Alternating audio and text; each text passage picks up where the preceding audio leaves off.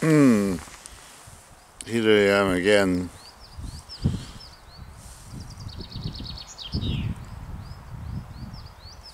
At dawn on the hill. I was meditating on the importance of uh, a connection with your angel your higher self.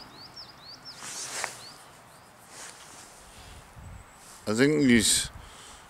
I think one of the things that's uh,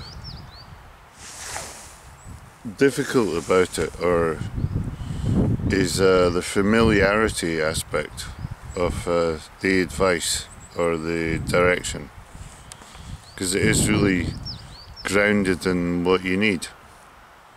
It's basically like all we need in a way is a connection with our higher self.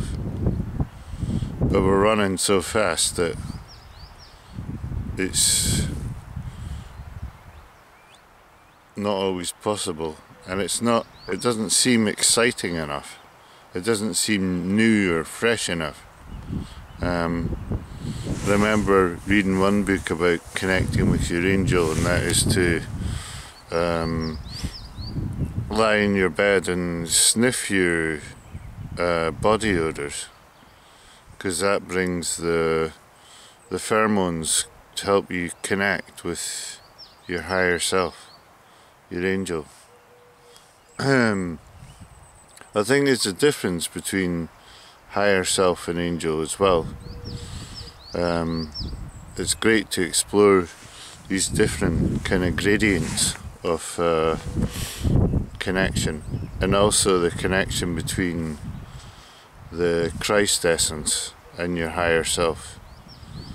Because you know that's like the, the embodiment of it almost um, is and how it um, how the wisdom flows in yeah, so just that um, I'm quite often asking that question of what's my direction, how do I embody it? I suppose a lot of people are, and it's not an easy question to answer. And one of the things that makes it easier is connecting with your higher self and connecting with that moment when you, before you forgot what it was? Before you forgot what your gifts are, why you're here, and how it all relates to everything else, like your mission. I'm not saying like we're not free to choose, because I think it is a choice. That's the important thing but it's how you make the choice that's important. So, yeah, I just wanted to share that quick message.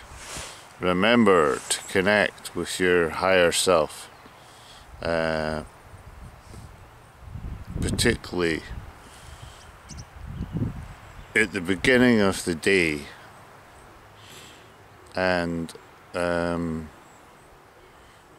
connect in such a way that it is really connecting with your divine inspiration. It's like connecting with the art of your divine inspiration. And that also brings you on to connecting with your full potential. So it's a fantastic way to start and also, when you're doing your New Year work, uh, the, when it, or whenever you do it, your yearly work, uh, your kind of review stuff, it's a good to connect with it then. Yeah, so have a good day. Bye for now.